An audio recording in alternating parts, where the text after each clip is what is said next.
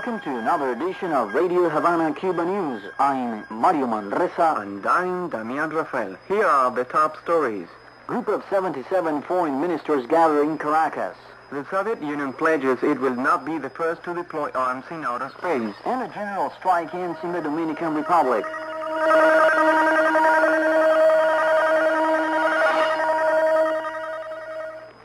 Venezuelan President Carlos Andrés Pérez has officially opened the Group of 77 Ministerial Conference in Caracas. Is at increasing the Third World's negotiating power. The foreign ministers from 127 countries will discuss the results of the group's 25 years of existence and possibilities for North-South and South-South cooperation. During preparations for the gathering, delegates agreed that the Third World is going through a grave economic crisis. The Soviet Union has confirmed that it has not deployed any arms in outer space and reiterated it will not be the first to do so. That in a note sent by Soviet leader Mikhail Gorbachev to the Group of Six. The message, which was released in Moscow, marks the fifth anniversary of a peace and disarmament initiative promoted by the Group of Six.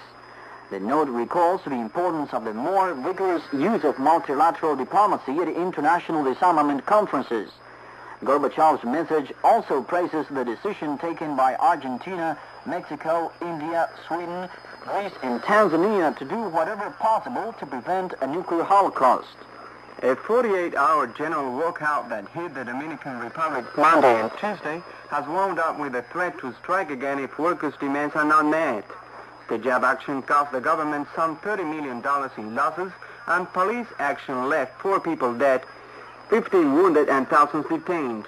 The leadership of the Popular Organization Council, which groups some 300 trade, social, and political organizations, is continuing to demand better salaries, a reduction in the prices of staples, among other demands. The president of the Cuban Organization of Solidarity with the Peoples of Asia, Africa, and Latin America, Rene Anillo Capote, has charged that the United States now has 1,600 military bases and over 500,000 soldiers all over the world. That, said Anillo, is a violation of the principles of self-determination, Russian sovereignty, and territorial integrity of independent nations. At a Havana roundtable and U.S. military bases in third world countries, Anillo stressed that while the so-called East-West conflict is easing, North-South relations are deteriorating due to the U.S. imperialist positions. He said that an example of that is Florida's Manteo Air Force Base, headquarters of the Special Forces Joint Command, where 21,000 soldiers can be mobilized in 48 hours to attack any Caribbean or Central American nation. Capote added that the U.S. boasts of its plans to carry out a large-scale air attack on Cuba, which is evidence of Washington's irresponsibility and provocations against our country. 20,000 people turned out in Leon yesterday to mark that Nicaraguan city's 10th anniversary of liberation and to hear President Daniel Ortega, who had harsh words for some large landowners. With the details, Barney Romero reports. Daniel Ortega declared that those agricultural producers who keep in the National Economic Plan will not receive any more aid from the bank. President Ortega pointed out that if those big landowners refuse to invest their dollars to make their lands produce, there are many peasants in Nicaragua who are willing to work those lands to raise production. President Ortega emphasized that it is still time to save the project of mixed economy and political pluralism, and said that within this context, in a meeting he held with Cardinal Miguel Obando y Bravo, Cardinal Valde Bravo to mediate before the Bush administration to cease the U.S. economic blockade, which so much damage is causing to the Nicaraguan people. This is Bernie Romero reporting from Managua, Nicaragua. We'll be back after this. Those are some of the latest stories from Radio Havana, Cuba's international news desk, and they'll have more in just a moment. This news roundup has opened the Wednesday edition of RHC's English language service, and over the next two hours, we'll be following the international and national news scenes. Also from our studios here in downtown Havana, we'll be bringing you feature reports on issues and events, plus a selection of Cuban music, all part of Radio Havana, Cuba's panorama of news, music, and information. Stay tuned. Back now to the news. Nicaraguan Deputy Foreign Minister Jose Leon Talavera has charged Honduras with torpedoing the holding of the Central American Presidential Summit. Honduras has failed to comply with the accord to demobilize and dismantle the U.S.-backed Nicaraguan Contras stationed in the country. And that's why, said the Sandinista official, the Central American Summit has been postponed. Talavera recalled that the agreement to dismantle the Contras came in the last Central American Summit. Nicaragua's defense ministry reports that yesterday a group of countries, those who have been receiving the U.S.'s so-called humanitarian aid, attacked Sandinista army troops in the southern Atlantic coast community of El Carmen. From Managua, Barney Romero reports. Repelling the the Sandinista troops inflicted seven casualties to the U.S. forces, including a Contra chief known as Walter. The same sources also said that there was another contra-attack against Sandinista army troops in the community of Iboli, central Nicaragua. These demonstrate that although the revolutionary government unilaterally suspended all offensive military operations throughout the country since last year, the U.S. government keeps securing war materials and ordering its mercenaries to attack, kill, kidnap, and destroy economic objectives. This is Barney Romero reporting from Managua, Nicaragua.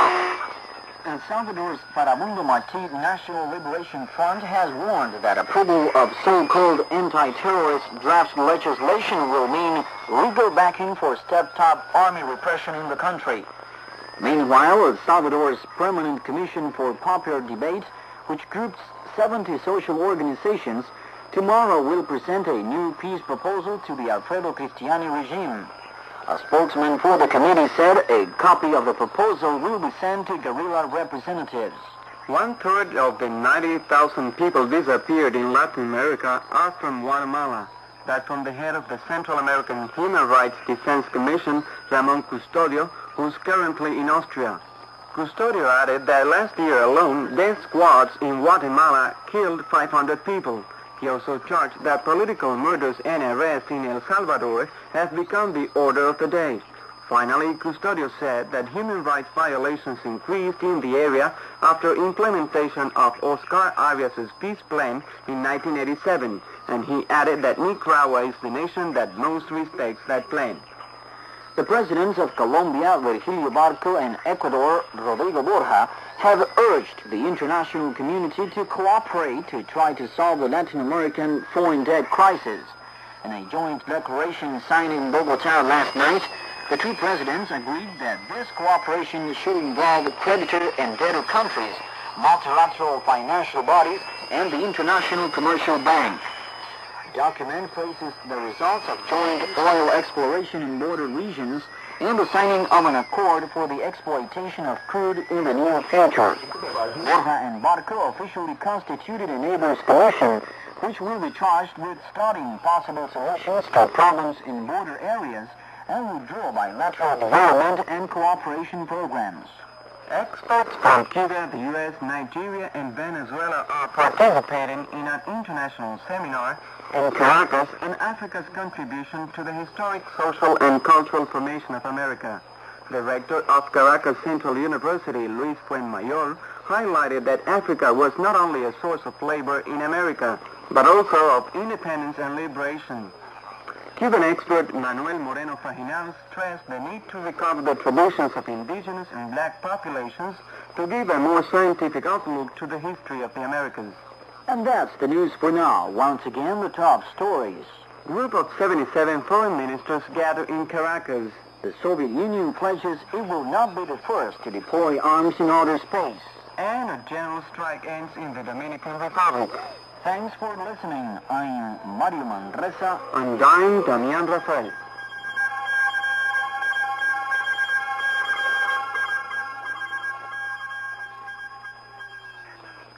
Another full international news roundup on Radio Havana, Cuba, opening the second hour of RHC programming. Top of the hour news here at Radio Havana, Cuba.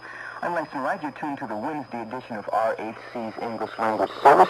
We continue our second hour of programming now with an amateur sports report over to Radio Havana, Cuba Sports Desk.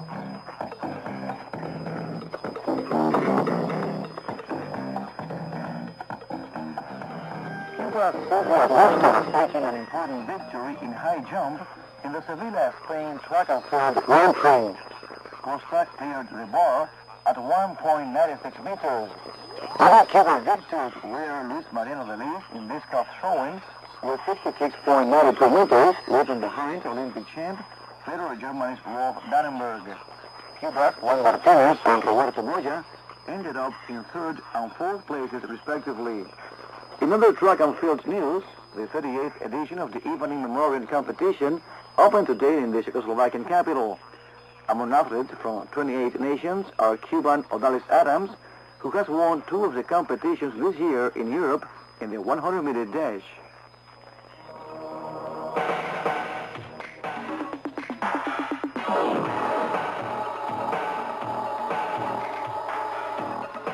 At World Soccer Cup for players under 16, Britain, Scotland, and Saudi Arabia will battle it out for the gold medal this Saturday. Scotland beat Portugal, European champ 1-zip, and Saudi Arabia upset Bahrain by the same score. Argentina and Brazil were eliminated in the quarterfinals of the event, which grouped 16 teams. Moving on to chess, at that Rotterdam Grand Prix in Holland, former world champ Gary Kasparov down Hungary's Gyula Sax in 64 moves and tightened his grip on first place. In other results of the 14th round, Holland's John van der Wiel took out Soviet Jan Ehlvest. All the matches finished in ties, including that of Cuba's Jesus Nogueiras against American Yasser Seirawan.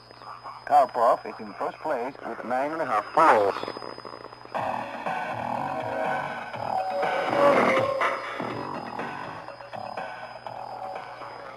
Cuba's Jesus Nunez has won the third leg of the Orense Cycling Tour in Spain, one over 108.8 kilometers.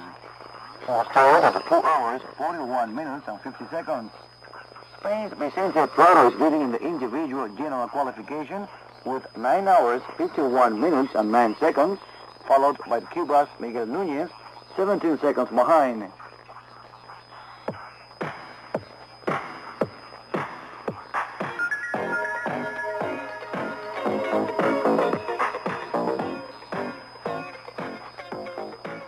Cuban junior volleyball team in the women's category and his Brazilian counterpart will face each other today in Cuba's Central Sancti Spiritus province.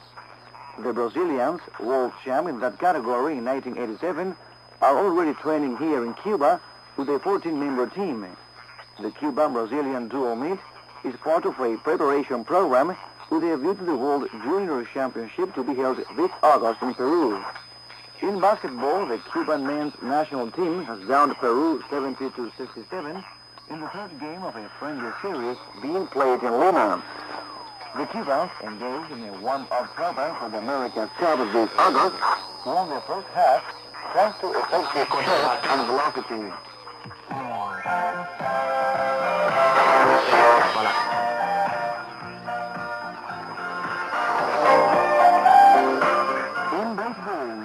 Champion of Cuba Special Baseball Series, Las Villas, is back home after a tour of various Mexican cities. They won 18 games and lost only two. Las Villas won the Mexican Sports Festival, suffering defeats at the hands of Nicaragua and the U.S. college team. Still in baseball, Nicaragua will give assistance in that sport to various Latin American countries as part of a program of Olympic solidarity. Nicaragua has been cooperating with Italy and Spain, sending trainers to those European nations for two years. And that's my time for the moment, folks. for Radio Havana Cuba Sports, I'm Kevin Kevin.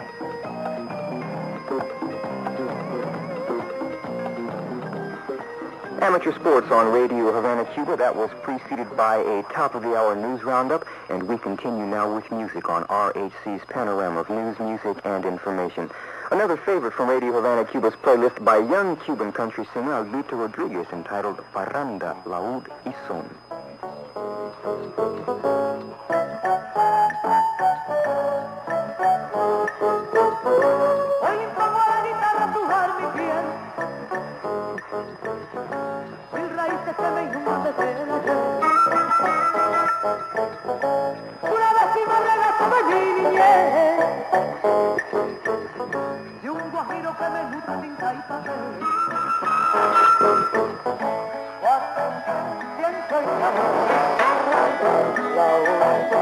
What a day.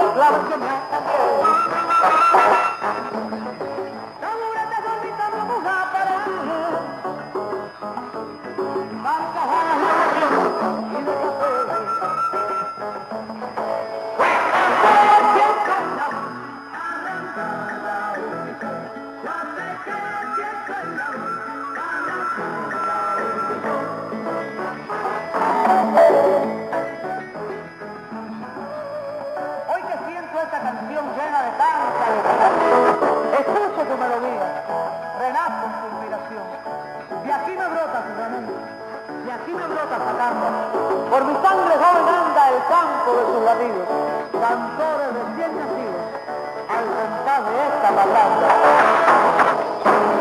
Que la parana de canta, de canta, hay que se cante, se cante, se cante.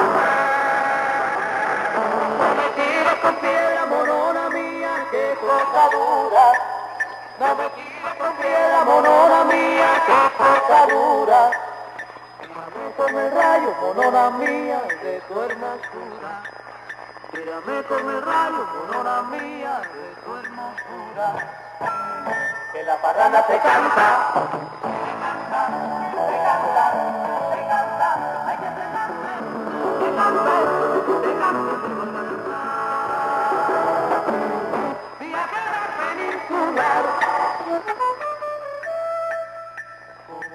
aplatanado. Viajera peninsular, como te has aplatanado que sin, que sin son te enamorado. De Diosita en el palmar, que la parada te canta, te canta. Te canta.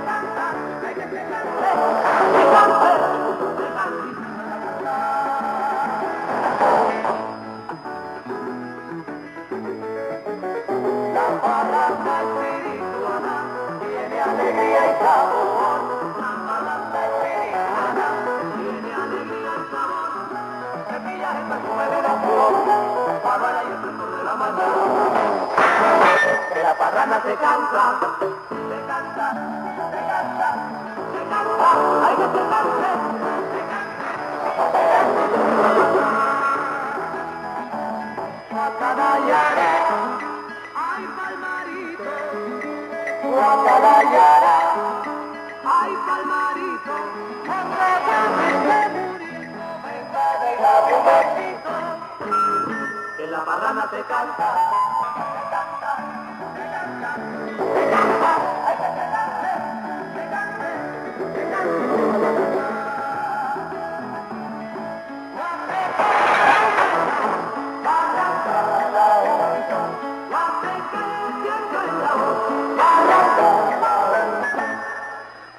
from our studios in downtown Havana, this is the Wednesday edition of Radio Havana, Cuba's English language service with news, music, and information for our listeners here in the Caribbean, in North America, USA and Canada, and in Europe. We continue programming now with more music to take us to more news. Coming up is the group Synthesis. Then we have a national news segment looking at the most important stories here in Cuba. And on the half hour, we'll be updating the latest international headlines. That'll be opening the final half hour of programming, during which we'll hearing from Radio Havana Cuba's Tony Rodriguez and from People's Daily World correspondent in Washington, D.C., Kim Wheeler. That plus more music, of course. Enjoy right now the group.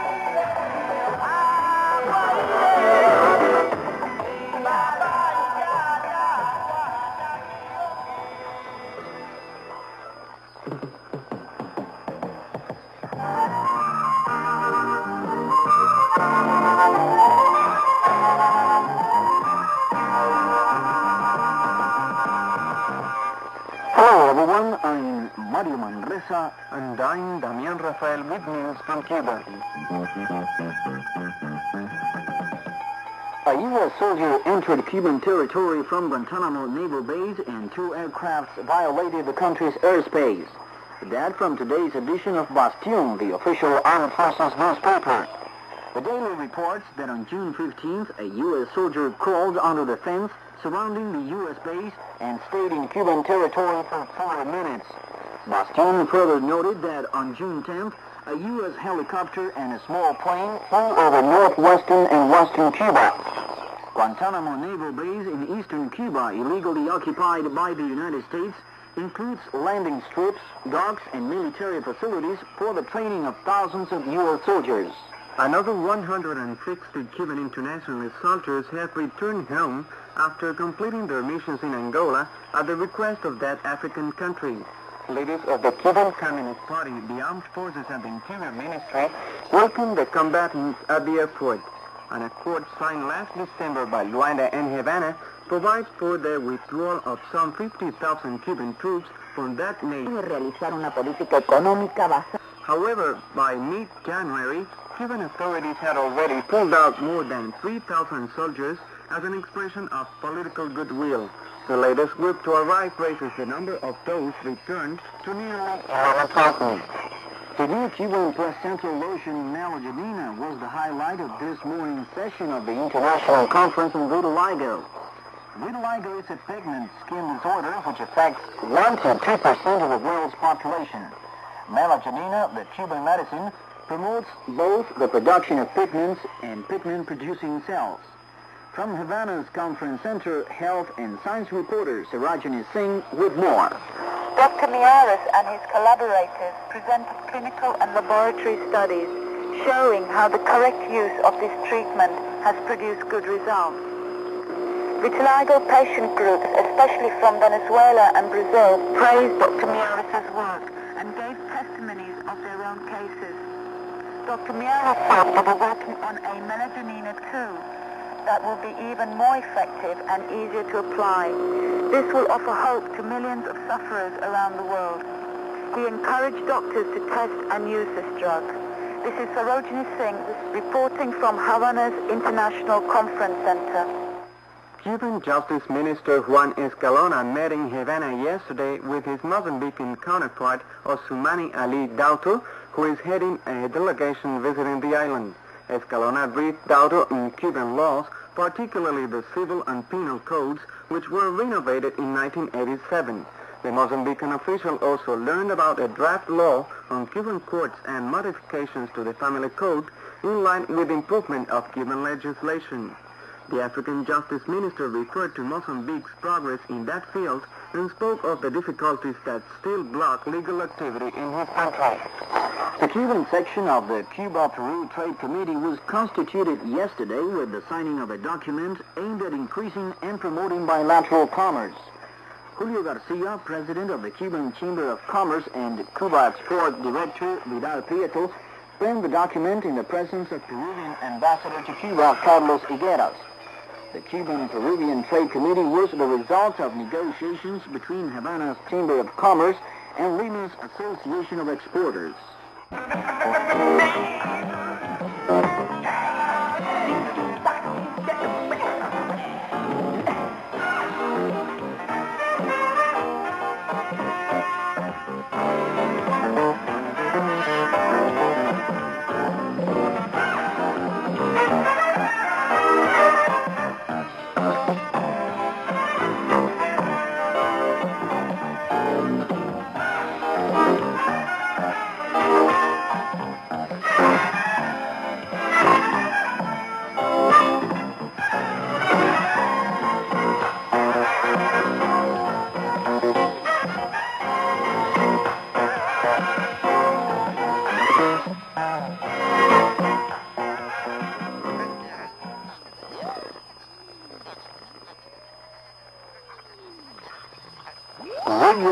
Cuba, upfront on the issues and events as they happen, giving you a glimpse of Cuba day by day, and with our island rhythms, keeping you entertained as well as informed. As a shortwave radio listener, we know you expect more, and what you have to say can make a difference. So let us hear from you. What you like, what you don't like, and what you'd like to hear from us. Write Radio Havana, Cuba, P.O. Box 7026, Havana, Cuba.